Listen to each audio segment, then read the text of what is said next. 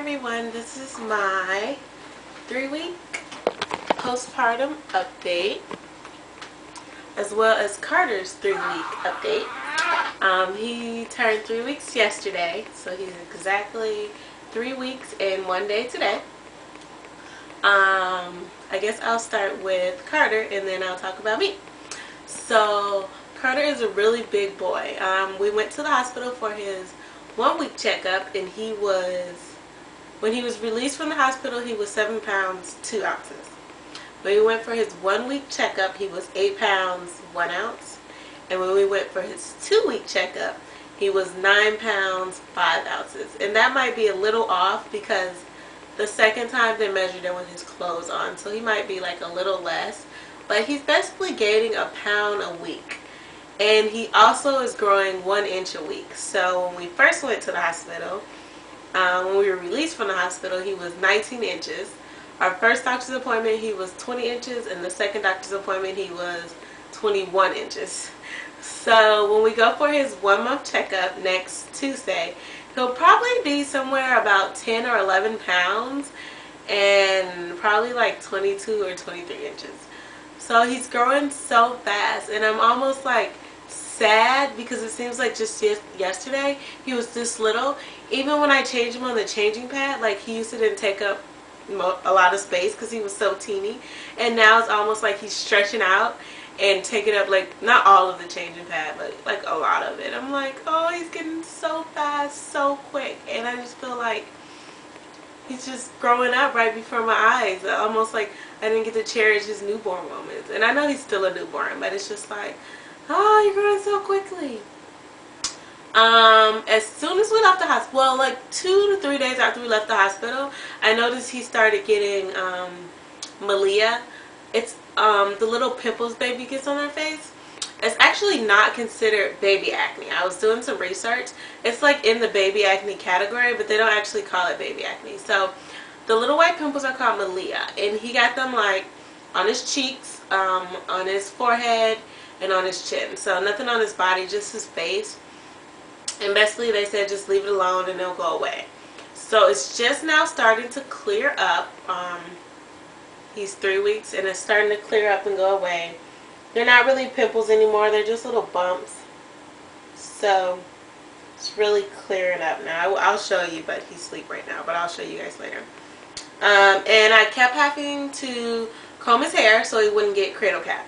Um, the the dry skin in his hair. I almost had to wash it and comb it every day just to get all the dry skin out of his hair and his eyebrows.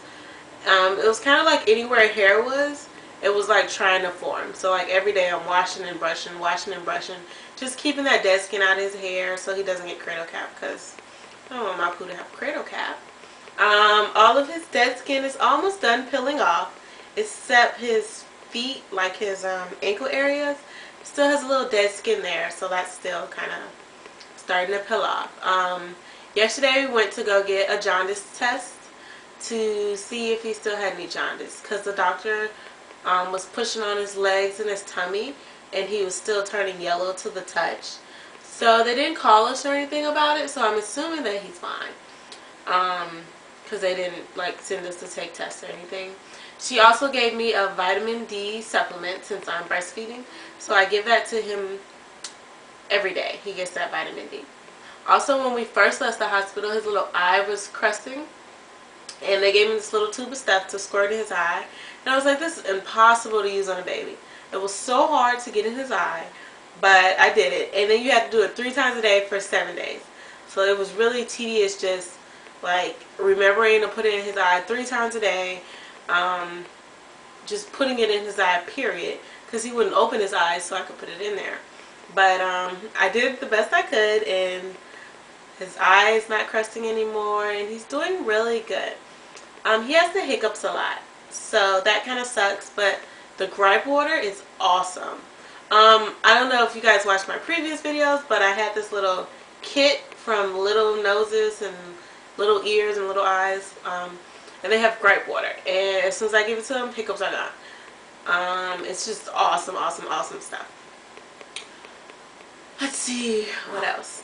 Um, he's starting to be much more alert now, so he's waking up and like looking around and you know just staying awake longer so that's awesome because it's just neat to just see how you know how he interacts he doesn't really smile in his sleep he smiles all the time though it's like heart melting how much he smiles it's adorable and then um what else are you doing poo oh so I'm strictly breastfeeding so this is kind of about both of us so I'm strictly breastfeeding he hasn't had well, he had Formula 1 the first time when he was first born because I was recovering from my C-section.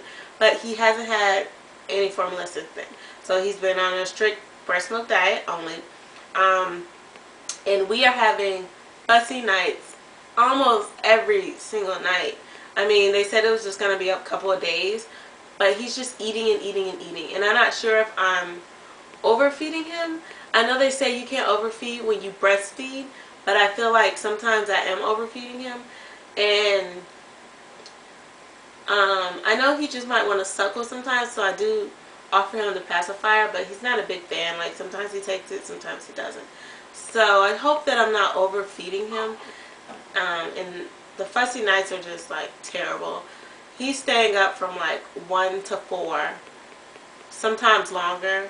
Most of the time he's down by 4 though. So 4 o'clock is usually the latest that we're up and then he sleep.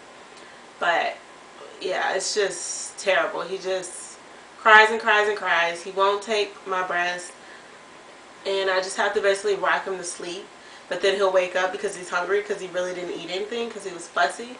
So it's just really like long nights. But once he does go to sleep around 3 or 4, he sleeps until like 8, sometimes 9, wakes up and eats, and then goes back to sleep until 12 or 1. So I do get my rest back because I sleep when he sleeps. So I get my rest back during the day. So I usually we usually get up at noon because we're up all night. So we get to sleep back, which is awesome. Um, what else is happening with my poo? He's boo-booing on a regular basis. Um, I mean, he's really great. And he's been really good with breastfeeding. I had some sore nipples. But for the most part, his latch is good. Um, I have like bountifuls of milk. It's ridiculous how much milk I have. I don't know if you guys can see, but this breast is full because he needs to wake up and eat. And this one's like deflated. so, yeah, I have like plenty of milk, so no problem in that category. What else is happening? Oh, so I attempted to take his newborn photos. Um, we got a couple cute photos, and I'm to have to take some more because he's just so fussy. Um, he won't just chill and sit there and let me take them. But we got a couple cute ones, and um, they came out really nice. So I'll probably show you those um, in a separate video. Oh, but they came out so gorgeous. But I'm to take some more of his pictures. Um, hopefully today if he'll cooperate. what else is happening? His umbilical cord fell off on March 18th. Um, I thought it was getting infected because it was oozing a whole lot. So we actually did put some alcohol on it. I know they tell you not to, but we put alcohol on it because it was oozing so much. And I just cleaned it up really good. And that evening it fell off after. Um, he still has like a lot of blood and stuff coming out his umbilical cord. So I'm still kind of cleaning it with alcohol and stuff. Um, just to make sure that it's clean. But for the most part, it's fine. He is really, really, really, really strong. If I lay him on his stomach or if you put him like on your chest, he pushes up. And if you lay him in the bed, he'll crawl literally across the bed. He's so strong. He pushes away from you, especially when he's breastfeeding. It really hurts me sometimes. He'll take both his hands and just push away from my breast, but he'll still have it in my mouth, in his mouth, so it hurts. But he's super, super strong. Like, he flicks him, he'll like fling himself out of your arms if you're not holding him really tight. Because, oh my gosh, he's just the strongest baby in the world.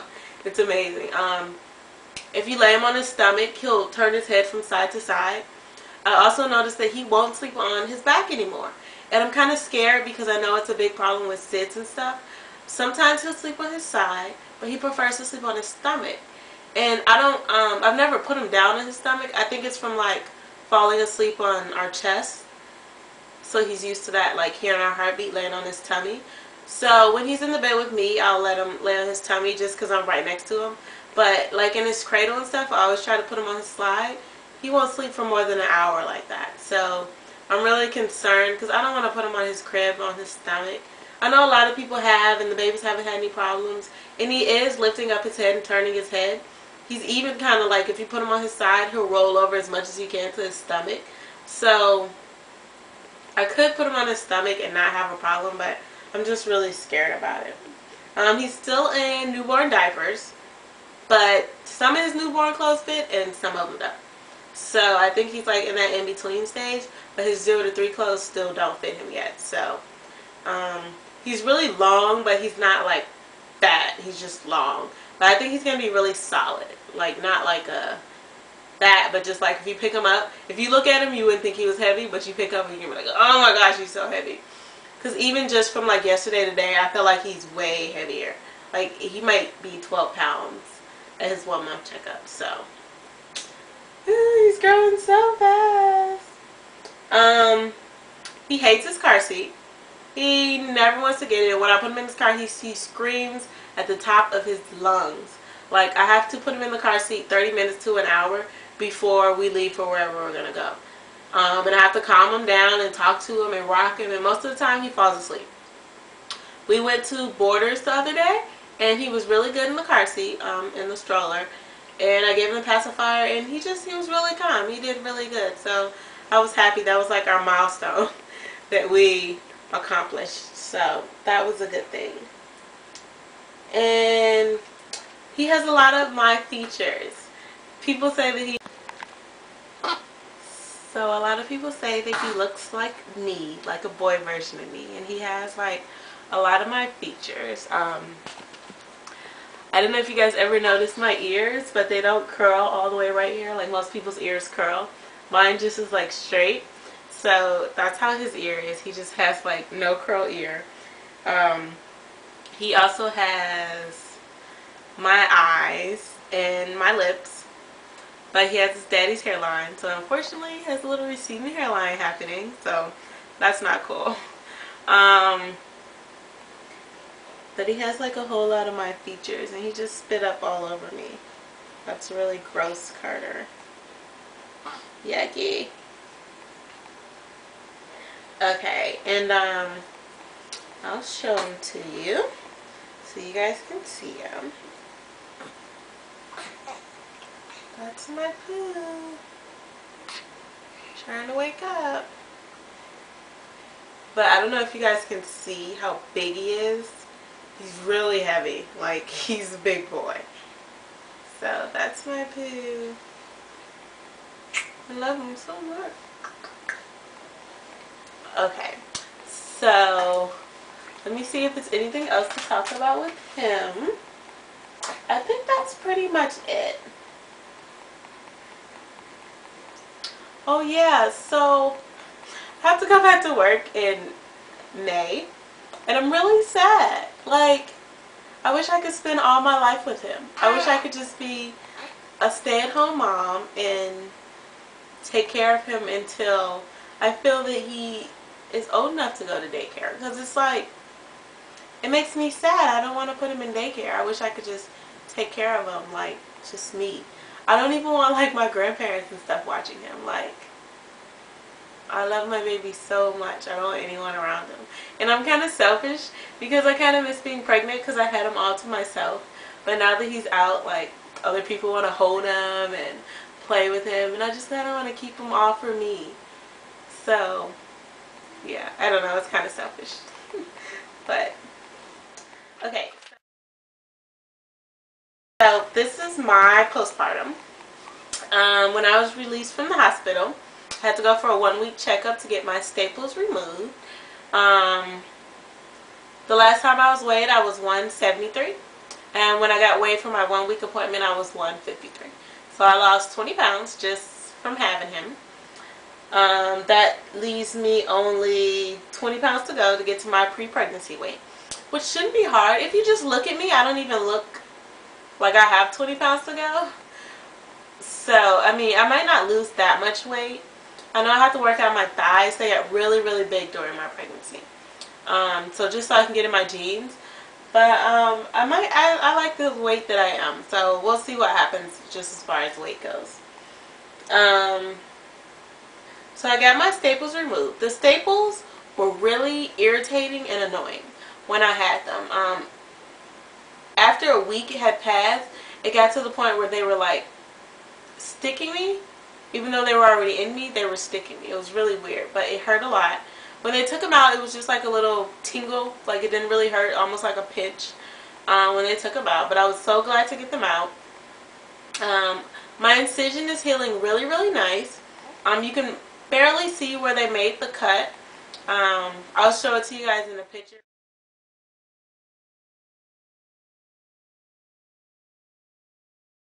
Probably in another video though. Um, but you can barely see where they made the cut or anything, so it's really clean and it looks really nice. Um, my stomach has drastically gone down. I've also been wearing the little bind that they gave me in the hospital where you kind of bind your belly.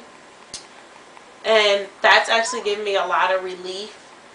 Uh, I wear it every day. I wear it to bed. It's not really uncomfortable. It is kind of bulky under my clothes, but I don't mind just because it feels better with that on. Um, when I first got home, my recovery was, it was okay. For the most part, I could do most things on my own. I had ibuprofen um, to help with some of the pain though because I couldn't lay on my side for about a week. I had to lay on my back. My sides still hurt even now. Um, like if I breastfeed them on my side, my side hurts. If I lay a certain way on my side, my side hurts. So I'm either laying on my back or my stomach most of the time. And if I am on my side, I'm curled up because it's still it's still painful, the muscles there. Um, when I first got home, it hurt to walk for long periods of time. So I had to sit down a lot because I couldn't walk. Um, another thing that okay, another thing that um, hurt was going up and down the stairs. Um, in my house, the kitchen's upstairs. So I have to go upstairs to eat. Everything else is downstairs, which is great, but I had to go upstairs to eat. And people at my house, you know, everyone was working. My grandma was here, but she was sick when I first got home, so I really didn't have anyone to help me. So, um, going up and down the stairs, it hurt. Um, sometimes, if I didn't, I try not to take the ibuprofen a lot, but I really needed it because if I didn't take it, I would be in so much pain, I'd be crying. And I really can't describe the pain.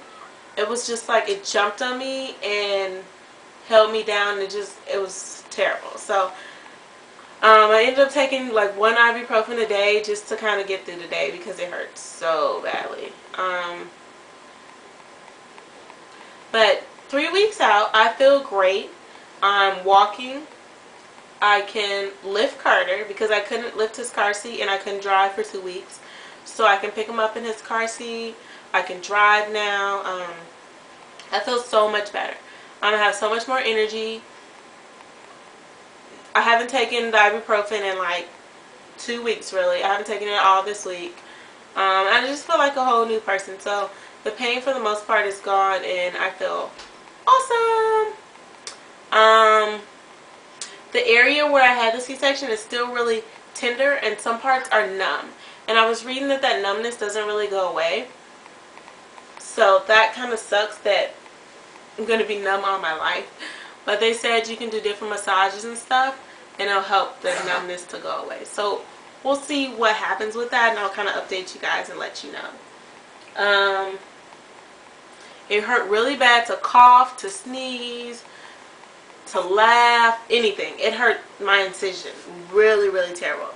Um, it would make me cry that it hurt so bad. Um, that doesn't hurt anymore though. Um, what else? My little poo is ready to eat. I did end up getting stress marks in the very end. I have some on my sides and I have some by my belly button. Um, what else? Oh, right after he was born, I broke up. My whole face broke out. I don't know if you guys can see it on here. My chin, around my mouth, everything broke out so terribly. So it's just now like starting to clear up. But I broke out so bad. I was like, oh my gosh, like acne city, like puberty all over again. It sucked. So, um, so that was that was horrible. That I just broke out everywhere. But that is it about me, really. Um, I'm pretty much fully recovered. I know they say six weeks, but I feel awesome right now. And um, that's about it. So, I'm going to post another update of Cartier, just of like his two weeks, three weeks, just so you guys can see more of him. And I'm going to show you guys my belly. And I believe he's awake. You want to say hi, Pooh? Say hi. No? You go back to sleep? You're not going to say hi? So, um, I'll show you my belly and then we'll be done. Okay, bye. So, this is the belly wrap that I use. And it just wraps my stomach. It looks like that. And this is the one the hospital gave me. And I'll take it off. And this is my after belly. I don't know if you can see my stretch marks. Gross. But this is after. So as you can see, it's not that big. And I'll show you my stretch mark scar.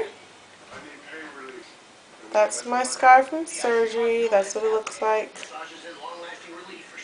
And that's all that's left. This is the other side.